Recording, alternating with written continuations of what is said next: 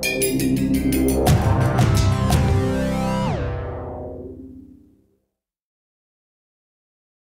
thank you all for being here today. It's uh, quite a pleasure to, to talk about what we're doing. I know Jamie and I are really enthused about what we're doing. We like to share what's going on in our operations, but uh, I got two sons in the operation now, and, and it's uh, best time for me, even though this is probably my 40th year of farming. I still think there's another 10 there somewhere. So and it's going to be enjoyable having those two in the operation. But uh, start out with, um, we went through studying cover crops, uh, probably started that five or six years ago. Didn't jump right into it till we till we done some studying and understood where we wanted to head with it. Uh, we started out with with a Miller sprayer. This is basically a bare bones power plant. You've got uh, the tank's taken off and the boom's taken off the front. And um, we started putting this uh, this piece together four years ago, um, where we put a, a, Gandy box in the middle. Uh, this thing's evolving every year, and we're actually evolving quite a bit for this coming year. I'll try to go through that a little bit later, but um, Gandy box uh, with hoses from the Gandy box out to the boom. Um, drops made for the boom. These are kind of some, some steps we're going through. Um, this is what it looks like in the cornfield. Uh, this is three years ago. Uh, probably the first thing we learned is we don't want to want to be seeding that late in corn if we can get by with it. We'd rather be seeding earlier in the crop uh, crop year. We like to try to get started the middle of August if we can, seeding uh, seeding cover crops into standing corn. Uh, soybeans will seed into standing soybeans, but we're really want the beans pretty much fully yellow before we uh, before we start seeding into there.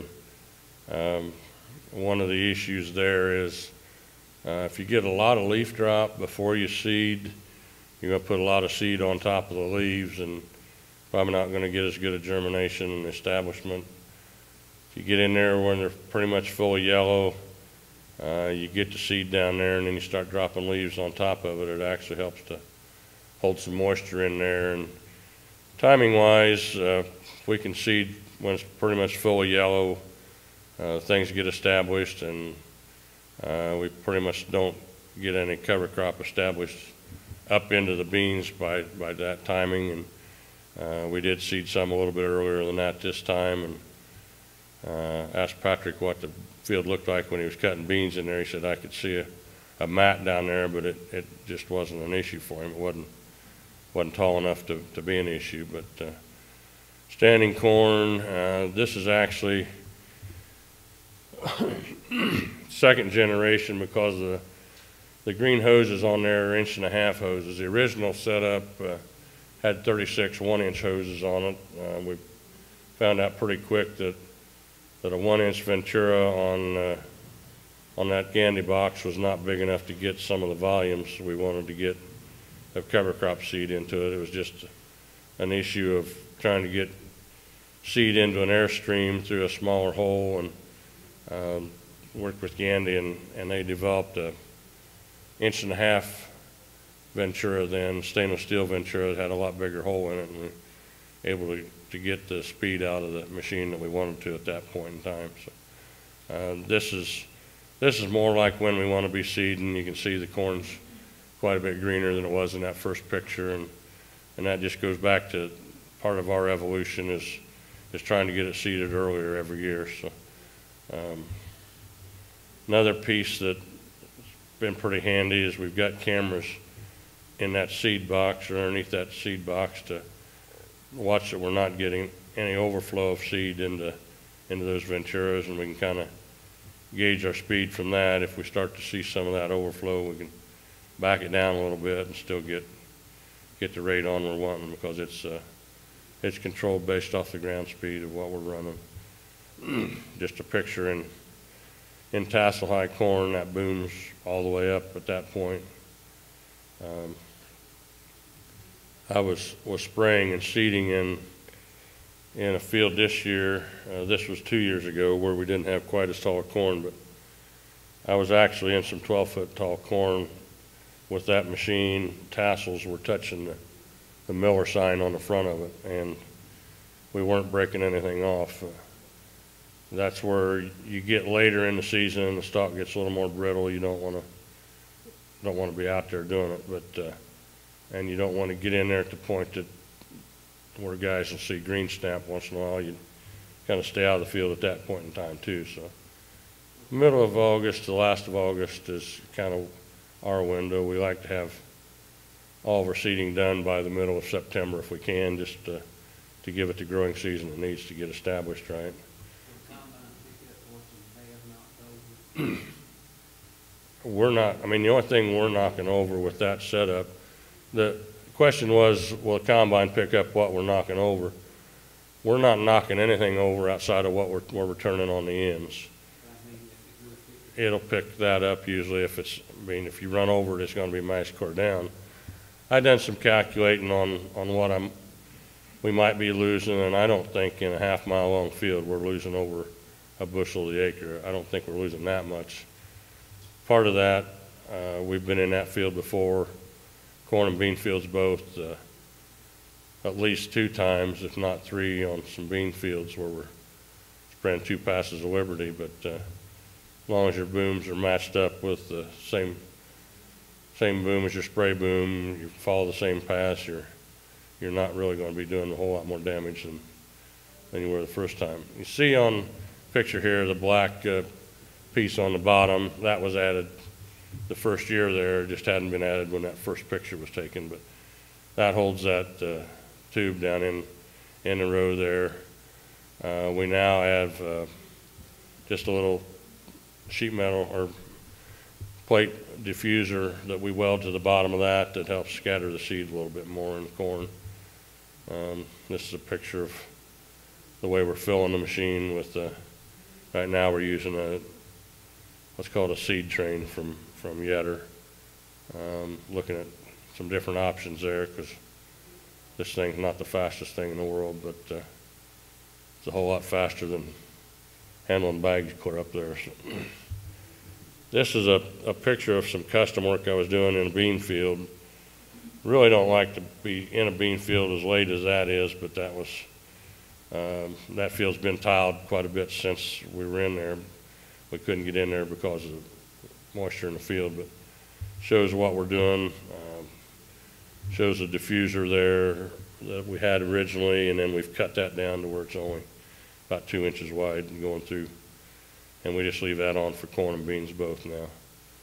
Um, that thing's quite a process to meet something coming down the road when you're looking at that thing. Had a few, couple different sickles I've, you could tell they were looking at that and looking at that and looking at that like they wanted to take that sickle right underneath there, but they didn't, thank good. Thank goodness, because I'd hate to have to pick them out of that ladder or something else in there. This is uh, two years ago. Um, had a really good season, I think, a lot better than what we had this past fall. Um, I guess shows there seeded on the 23rd of August, and Patrick went in there to harvest that on the on the 21st of September, and that was that was what we're seeing with the annual ryegrass, crimson clover, and radishes. Um, one thing, if you look real close, we, We've added that diffuser in there to try to get a little better coverage right under the row. Uh, feel like we're maybe missing a little bit right there, but then in, in our operation with two years of corn, a year of beans, and we're strip tilling everything going to corn, we'll come into this field here and, and strip till that in between the corn rows and, and still have quite a bit of the cover left. this is a field from this fall, which seemed like what we seeded into soybeans this fall done a lot better. And uh, this is actually oats, crimson clover, and radishes that we're seeding into standing soybeans um, at basically yellow, fully yellow field. I mean, you don't get the whole field yellow, but that's where you try to get. And then it's been strip tilled uh, for for next year's corn crop. And Um, This is a picture last spring that I was uh, spraying some, uh, some of the annual ryegrass, clover, and radishes, which you don't see, the- of course, the radishes aren't going to come through the winter, and uh, with the annual ryegrass the way it is there, you don't see a lot of the clover. There's, there's some in there, not as much as we'd like to have, but that was where we're at the, last spring. And then this is a picture from the planter tractor last spring. Uh, the weather pattern we got last spring, we didn't have a lot of time ahead of planning to, to get our kill done early.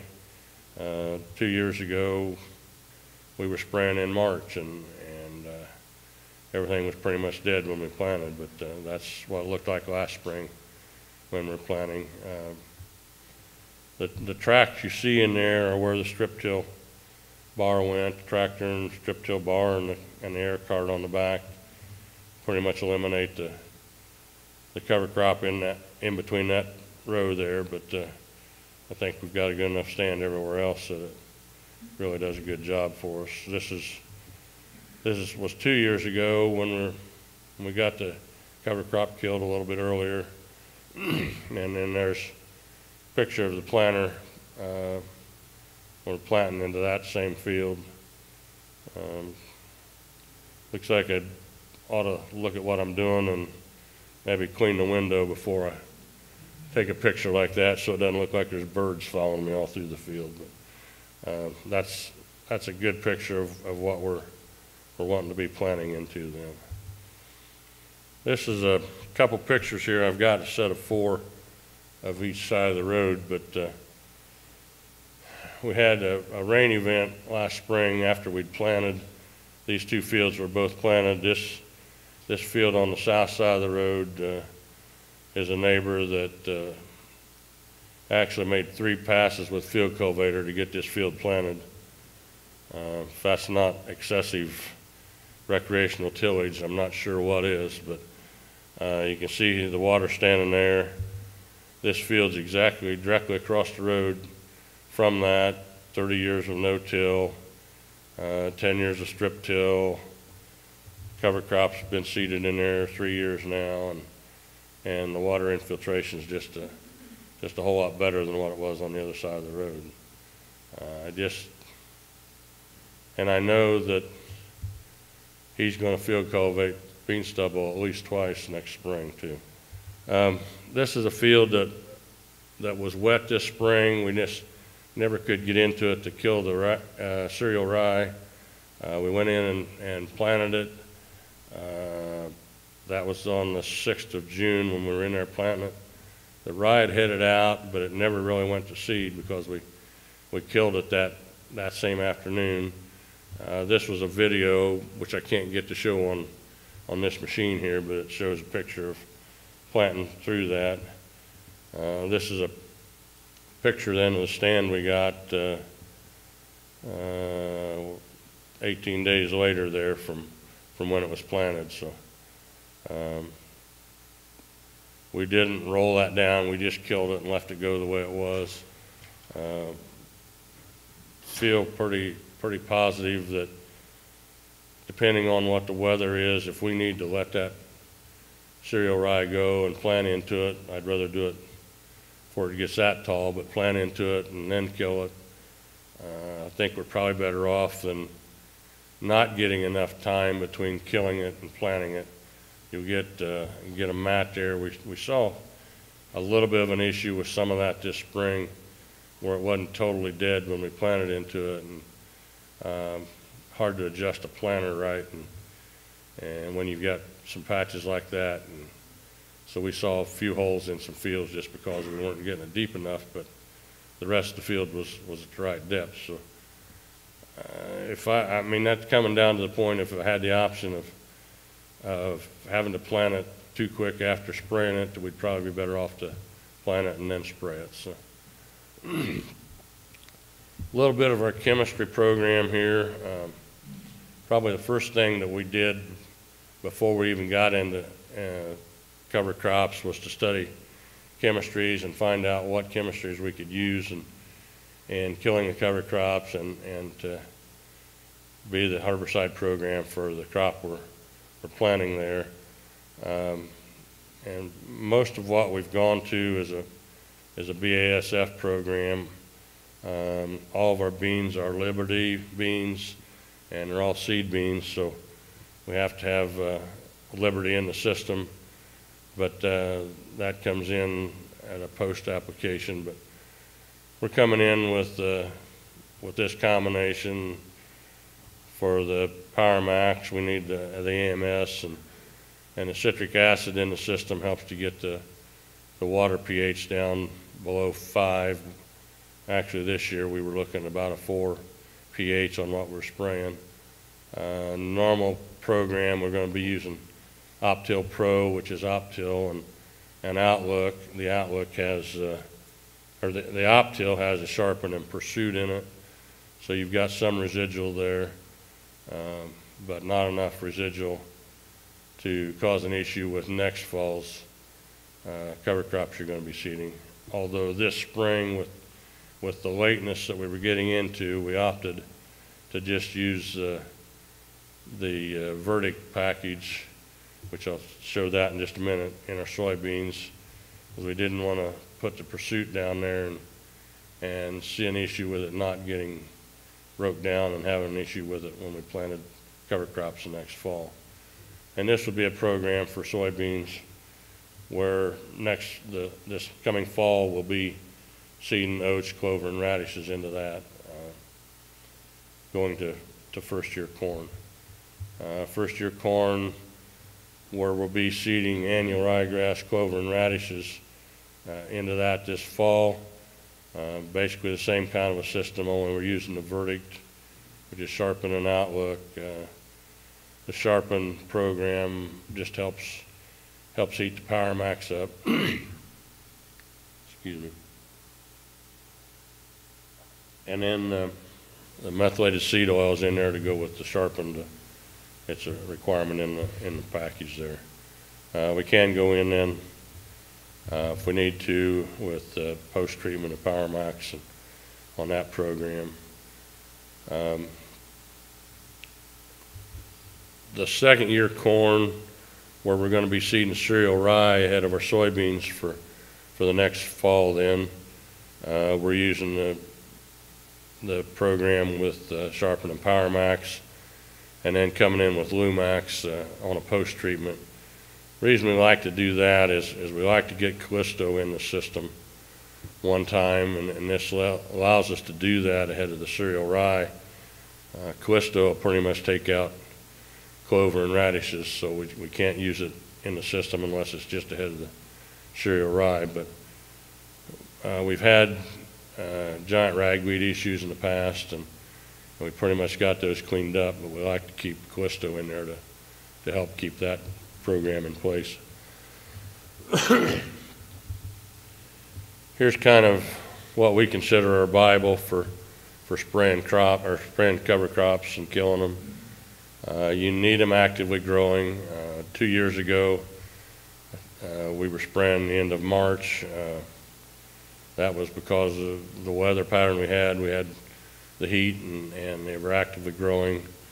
Uh, this year we had trouble getting them sprayed because of the way the rainfall was. So you kind of got to play your cards however you get them dealt that, that spring. But, and you need, need a warm forecast for the next four or five days so that the, they continue to actively grow and, and that's uh, allowing them to take up the, the Max and, or the glyphosate and, and get the kill done.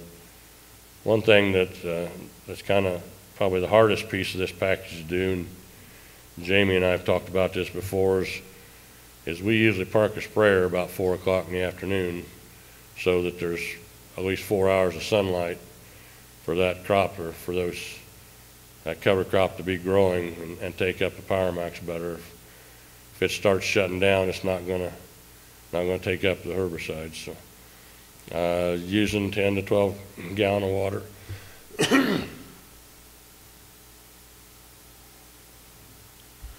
I think my two o'clock appointment with my bed last night starting to get up to, get, catch up to me. You want good penetration of what you're spraying. Uh, you need a fine mist, but you don't, uh, don't really want to use an AI nozzle, but an AI XR nozzle uh, does a good job of directing that down in there. Again, getting the pH down below five. Talked a little bit about uh, where we're evolving to, the cover crop seeder. uh, We've been approached by Miller sprayers to help them develop a product to put on their sprayers. Uh, We're going to be going to a- a sulfured air tank on the sprayers instead of the Gandy box because it's a pressurized system.